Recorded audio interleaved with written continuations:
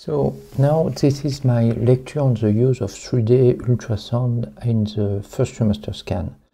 But I don't like to speak only of 3D because you don't do only 3D. When you do the first trimester scan, you will use first 2D and if there is a need to, to use, you will use a 3D ultrasound. So it's you cannot do a complete examination only with 3D. You need 2D and 3D.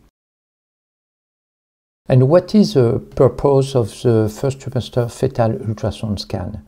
It's to confirm the viability, to establish the gestational age, to count the number of fetuses, assess chorionicity, amnionicity in a multi-pregnancy, doing the nuchal translucency thickness, and this is a ID for screening of chromosomal defects, and especially for the uh, Down syndrome, and also it's possible to detect all the major fetal abnormalities. And this, if it is, it is in these points that the 3D is really a benefit because you can demonstrate all this uh, malformation.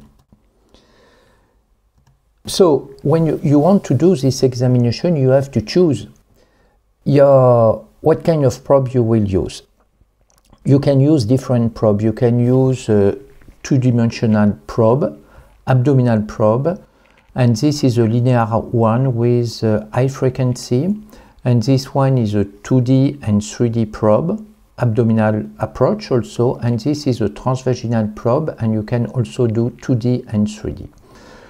And during the 11 to uh, 14 weeks, I always start with abdominal probe and uh, I prefer to use this kind of probe because I, if I want to switch from 2D to uh, 3D, I just have to press on one button.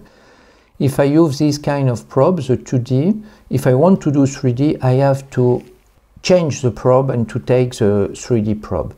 And this is when I do uh, transvaginal.